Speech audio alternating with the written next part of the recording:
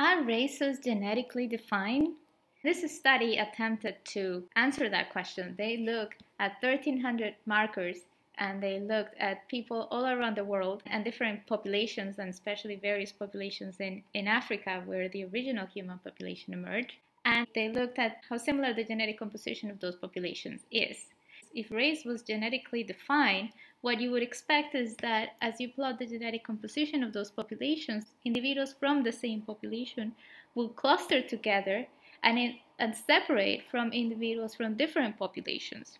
So you will be able to separate individuals from each race from individuals from other races. And the variation within individuals in one population or in one racial group will be lower than variation between individuals of different groups. So there will be a clear separation of each of these groups.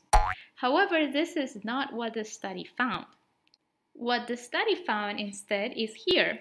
This is a population from East Africa, Sub-Saharan African, African Americans, people from mixed ancestry. These are Western Eurasians, so this includes Western Europeans and uh, Eurasians and Saharan Africans, and they are not distinguishable from one another these are populations that in our societal interpretation of race will belong to different races, but here they're completely undistinguishable.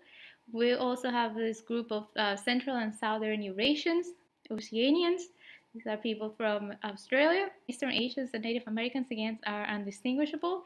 And what you see here is people that belong into what society will call different races are actually very similar to each other genetically, while people that we will consider from the same race can be quite different from other people in the same race. If We look at one person from this group with an individual from the same group over here, the difference between them is much higher than the difference of, of these three individuals that belong to different groups and they're clustering very close together.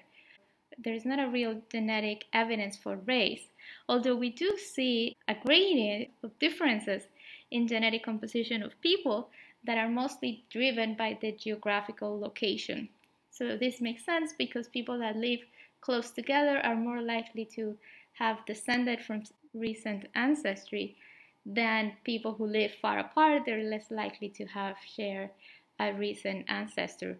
So this is to say that you and your siblings are going to be more genetically similar than you and your cousins, but that doesn't mean that your cousins belong to a different race. So in conclusion, we cannot really use genetic evidence to support our ideas of racial differences. And there is more variation within individuals that are considered of the same race than with individuals that are considered from different races.